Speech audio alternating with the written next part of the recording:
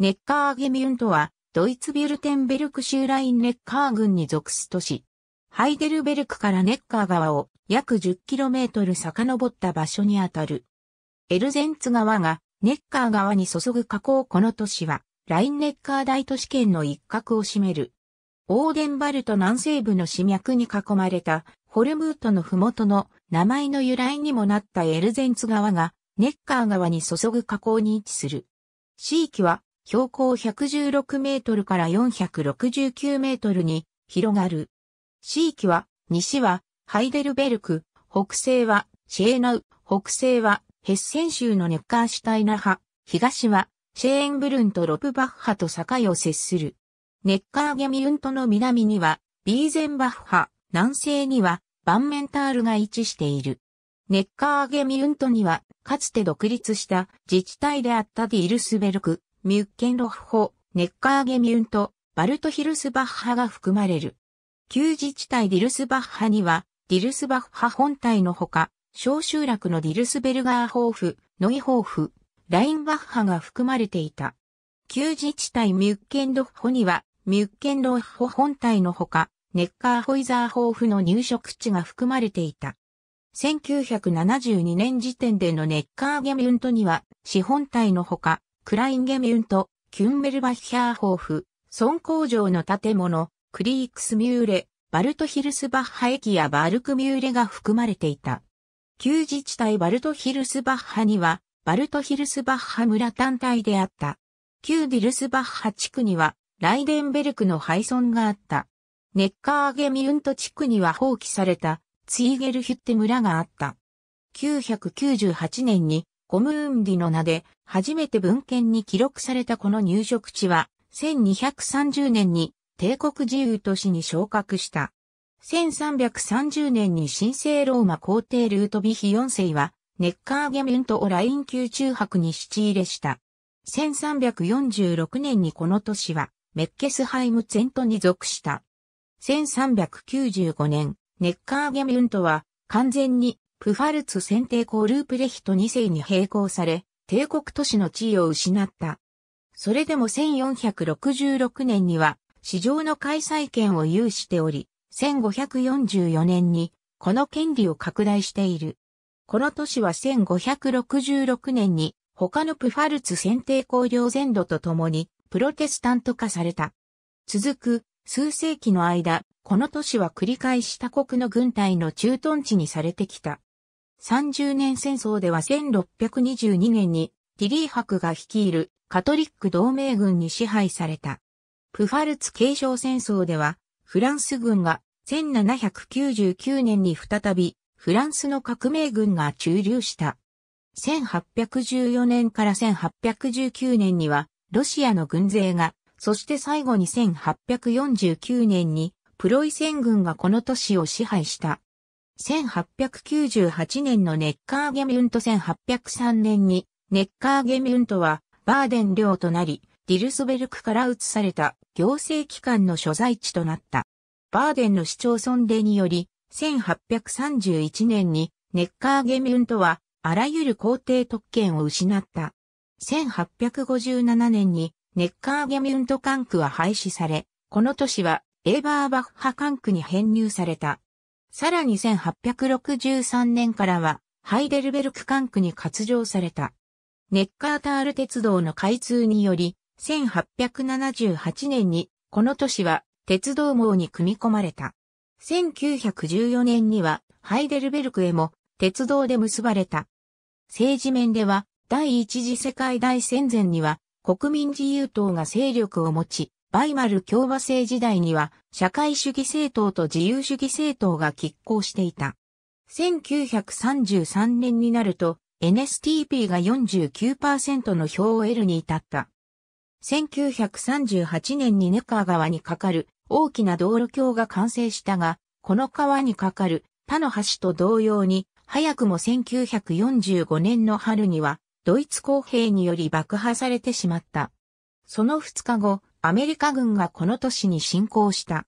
クラインゲミュントを含むネッカーゲミュント現在の地域の人口宗教改革後は、すべての地区において、プロテスタントが多数を占める。ただし、ディルスベルクだけは、守備兵らにより1700年からカトリックが多数派になった。第二次世界大戦後は、旧ドイツ領の東プロイセンやシレジア、チェコ領であったズデーテン地方などから放逐民らを受け入れたことにより、カトリック信者の比率が上昇した。2004年現在、プロテスタント信者が40.6%、カトリック信者が32%である。ディルスベルクの城壁と街並みネッカーゲミュントの市議会は24議席である。投票権を有する議長は2000年から市長のホルスト・アルトホフが務める。図柄、金地に赤い爪と赤い舌を見せる黒い和紙。胸部に小さな盾が掲げられており、その中には金の十字架と金の金具をつけた青い帝国帽子が描かれている。1359年の印象にはすでに帝国都市特有の帝国足のデザインが用いられている。現在の形の紋章は1645年のマテウス・メイリアンによるタポーラフィア・パラッタネタス・レナイに初めて登場する。旗は黒から黄色である。ネッカーゲミュントは1965年にチェコのバレック・ブイスショックと援助協力関係を締結した。木組建築が立ち並ぶネッカーゲミュントの路地、ネッカー川の渓谷の斜面に位置するネッカーゲミュント旧市街には多くの見どころが点在する。目抜き通りのハウプトシュトラーセとネッカーシュトラーセはそれぞれ一方通行で旧市街を貫いており、多くの木組建築が並ぶ路地がこの通りから枝分かれしている。中でも特筆すべきは、とても狭いクレッパー合戦で、旧市壁沿いに直接旧市街の裏側に通じている。ネッカー川の堤防沿いにプロテスタント教会がある。この教会は12世紀から13世紀に建てられた先代の教会の基礎を利用して建てられた高義語式建築である。カトリックの教区教会である聖ヨハネス・ネポムク教会はマルクト広場に面した高台に位置している。現在の建物は1894年から95年にネオロマネスク様式で建設された。その近くには1770年から1771年に古典主義様式で建てられた旧ルター派教会がある。この建物は1821年に市に売却され、1984年まで市役所として用いられていた。ギリシアワインホテルネッカーシュトラーセソイのメンツァー、公園にはメンツァー邸が建っている。この館は1892年に建てられたユリウス、メンツァーの屋敷であった。ユリウス・メンツァーはワイン貿易商の創始者で、ギリシアワインを初めてドイツに紹介した人物である。メンツァー公園には2003年6月2日から2008年6月20日までの間、消失したネッカーゲミュントギムナジウムの仮校舎が設けられていた。ネッカー通りを下ったやや広くなったところには、メンツァーが創設したギリシアワイン酒場県宿泊施設のツアスタッドアテインが立っている。アテネ邸の近く、旧市街中心部付近にホテルリッターがあった。この建物は1286年に建造された狩りの城にその起源を持つ建物であったが、2003年1月10日の夜に起きた火事の犠牲となった。この歴史的建築の再建は資金難から実現せず、2006年7月に市はこの跡地の撤廃を決定した。その近くに16世から18世紀までビール醸造所を兼ねた宿屋であったプリンツカールがある。現在ここはネッカーゲミュントの音楽学校及び市民大学に利用されている。シモン旧市街の橋、ビーゼンバッハ渓谷の入り口に1788年に選定校、カール・テオドールの栄誉を称えて建設されたシモンがある。